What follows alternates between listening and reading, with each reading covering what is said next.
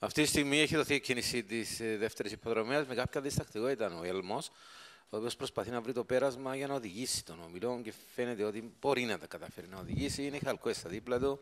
Έλμος στην πρωτοπορία τώρα, παίρνει το κεφάλι.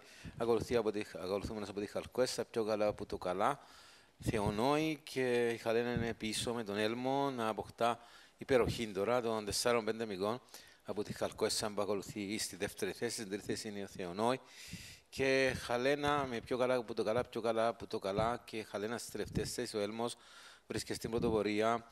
Στο μέσο περίπου της διαδρομής, είναι πέντε μήκη μπροστά από τη Θεονόη που περνά στη δεύτερη θέση, έχει περιοριστεί τρίτη Χαλκόεσα και αρκετά πιο πίσω είναι η Χαλένα με τον πιο καλά από το καλά, περνούμε το 800 με τον Έλμο να βρίσκεται στην πρωτοπορία, ακολουθεί η Θεονόη τώρα η οποία είναι στα 3 με 4 μήκη πίσω Χαλκόεσσα είναι στη συνέχεια και ακόμα πιο πίσω Χαλένα με πιο καλά που το καλά πλησιάζει τώρα η Θεονόη τον Έλμο στα 3 με 4 μήκη είναι η Χαλκόεσσα η οποία προσπαθεί να επιστρέψει από 500 η Έλμος πιέζεται από τη Θεονόη τώρα η οποία ετοιμάζεται να τον περάσει μάλιστα στο βήμα της η Θεονόη θα περάσει στην πρωτοπορία και να προηγηθεί του Έλμου η Χαλκόεσσα προσπαθεί τώρα να πλησιάσει τη δεύτερη θέση η Χαλένα είναι τέταρτη με την Θεονόη να αποκτά πλέον έκτημα τώρα των 3-4 μικών από τη Χαλκόεσα, η οποία περνά στη δεύτερη θέση και προσπαθεί να μειώσει από την πρωτοπόρο Θεονό, η οποία έχει ένα καλό προβάδισμα των τεσσάρων μικών από τη Χαλκόεσα. Ο Έλμος έχει μείνει τρίτος, με Θεονόη να έχει δυνάμεις μέχρι τέλους.